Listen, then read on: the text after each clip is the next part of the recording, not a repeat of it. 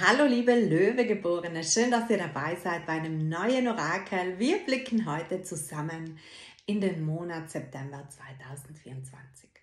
Wie gewohnt starten wir mit einer Grundüberschrift heute mit dem Musen-Tarot, gehen nachher weiter mit Zigeunerkarten Crowley Tarot ins Keltische Kreuz und zu guter Letzt gibt es wie gewohnt eine kleine Analyse aus dem Symbolon Orakel.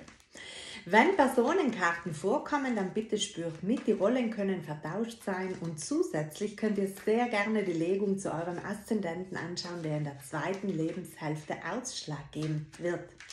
Für all jene, die gerne eine persönliche Legung von mir haben, findet ihr unterhalb des Videos alle Daten in der Box und ihr findet auch weitere Links zu verschiedenen Orakelkategorien.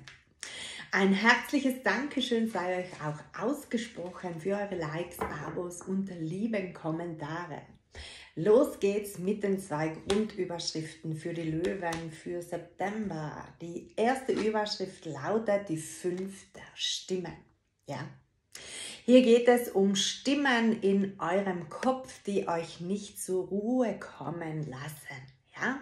Hier ist sehr wichtig, Gedankenhygiene zu betreiben, eure Gedanken zu beobachten, ob sie überhaupt der Wahrheit, sprich der Wirklichkeit entsprechen. Ja? Und wir haben hier den Magier. Hier geht es um das Thema des Schöpfens und der Kommunikation. Der Magier kann auch auf die Sternzeichen Zwillinge und Jungfrau hinweisen. Vielleicht seid ihr Aszendent in diesem Zeichen oder habt es mit diesen Sternzeichen zu tun. Ihr seid keine Opfer, ihr seid keine Täter, ihr seid Schöpfer im wahrsten Sinne des Wortes mit dieser Karte. Und es geht um Kommunikation. Ja? Auch die Schwerterenergie steht für Kommunikation, klare Kommunikation, mm, Jedoch sollte es aus einer gesunden Haltung heraus basieren und nicht das Kopfkino zu zelebrieren. Wir starten jetzt in eure Details. Los geht's mit den Zigeunerkarten. Die ersten drei Impulse im keltischen Kreuz lauten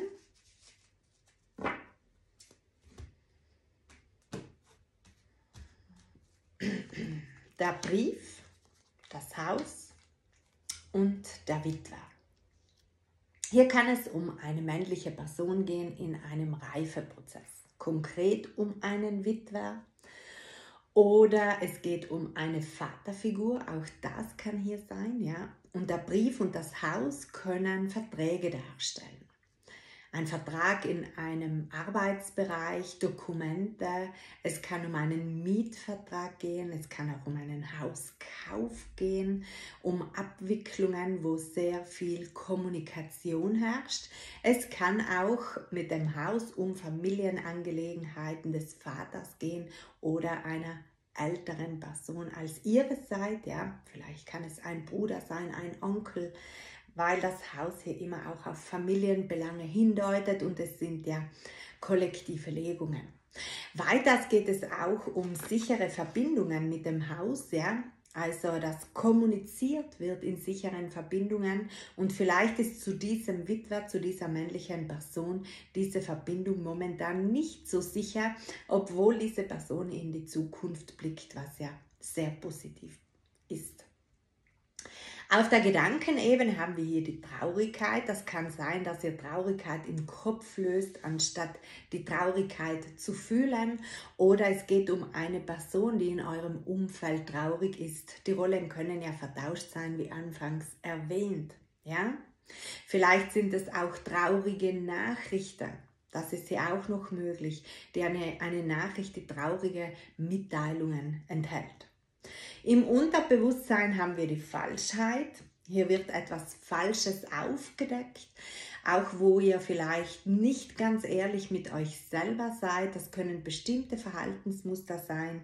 Oder ihr fragt euch hier vielleicht im September so häufig, ähm, was ist falsch, was ist richtig. Vielleicht fühlt ihr euch so hin und her gerissen. Das könnte hier auch sein. Oder was ist hier in Vergangenheit falsch gelaufen? Die Katze, die auf der Karte abgebildet ist, blickt nämlich in die Vergangenheit.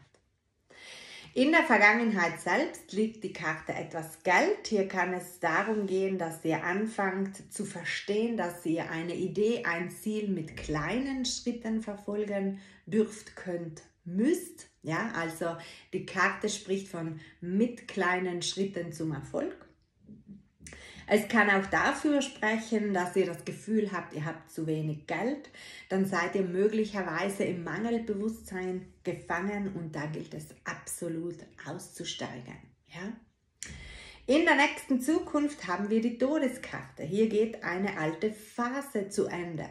Ja, hier geht es um eine sehr tiefe innere ähm, Transformation. Es kann hier natürlich auch um eine Trennung gehen, um eine Kündigung äh, von wem oder was auch immer. Bitte spürt hier immer weit mit, in einem weiten Gefilde.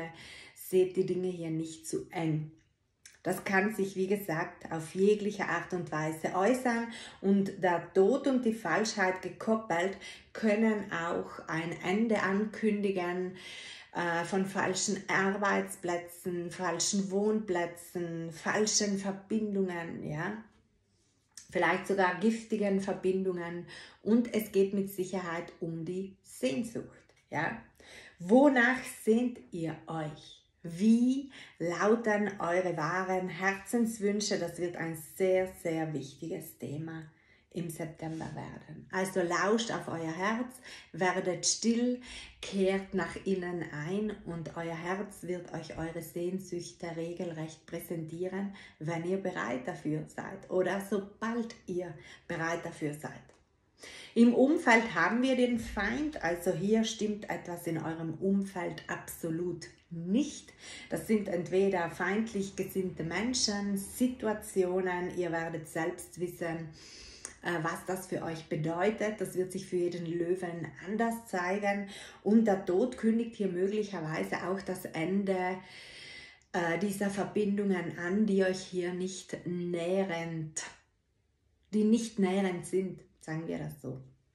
Hoffnung oder Befürchtung ist der Verlust. Hier habt ihr vielleicht Angst, äh, immer wieder in so graue Gefühlszonen einzutreten, in traurige Gefühlszonen einzutreten. Vielleicht habt ihr auch manchmal Angst, euch auf irgendjemand oder etwas einzulassen, weil es euch nicht als richtig erscheint.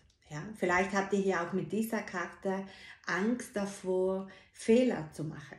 Hm? Der Ausgang ist die Fröhlichkeit, der Verlust und die Eifersucht. Also, hier werden sich Verstrickungen, ungesunde Verstrickungen lösen, wo die auch immer vorkommen.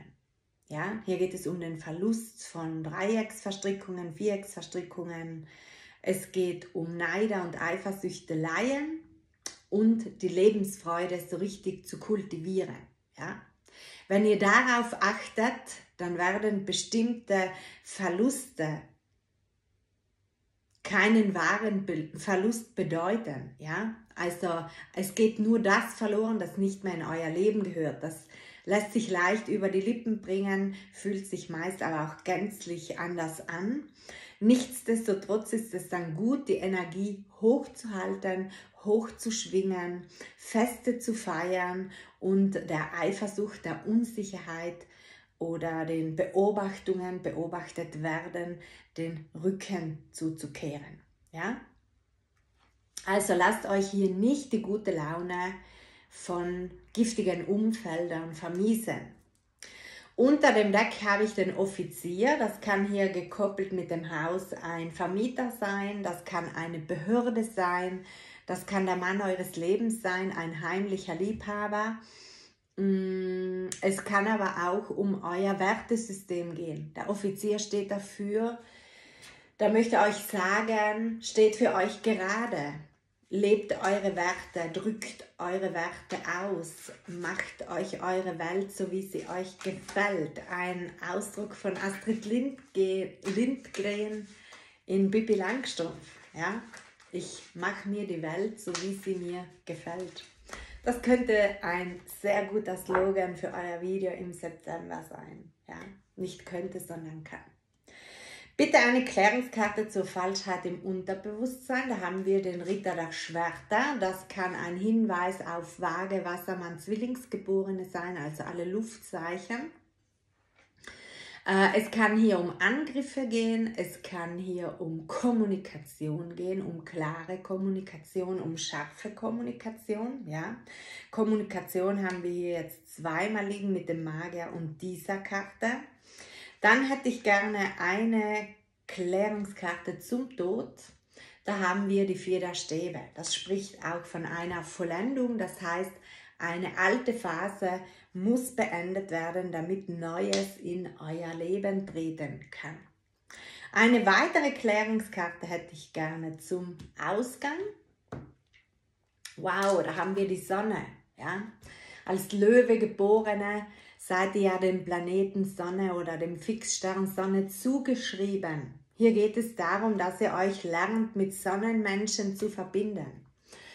Im Arbeitsleben, im Privatleben, auf jeglicher Ebene. Ja, das ist ganz egal, wo ihr euch hinbewegt. Äh, die, hier tanzt ein Zwillingspaar. Ja, umgebt euch mit Menschen, die sonnige Naturelle haben, die euch gut tun äh, vielleicht seid auch ihr hier für jemanden die Sonne im September. Das kann hier auch sein. Und die Karte spricht für den Hochsommer, dass vielleicht im Hochsommer noch ähm, sehr viel in diesem Kontext geschehen möchte. Ja? Es ist auch eine Karte des Erfolgs, ja? Erfolge zu feiern. Und wenn euch die jemand nicht gönnt, dann ist das ihr oder sein Problem. Gehen wir jetzt über zu den letzten drei Impulsen für euch. Drei Impulse für die Löwen für September, der blinde Fleck, der Weg und das Ziel. Wie lauten diese Karten für euch?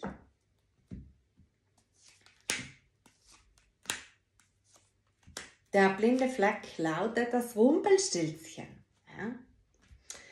Das Rumpelstilzchen spricht davon, dass ihr entweder jemand anderem auf der Nase rumtanzt oder dass ihr das Gefühl habt, euch tanzt jemand auf der Nase Hier geht es um versteckte Aggressionen. Wie könnt ihr diese Energie konstruktiv nutzen? Ja?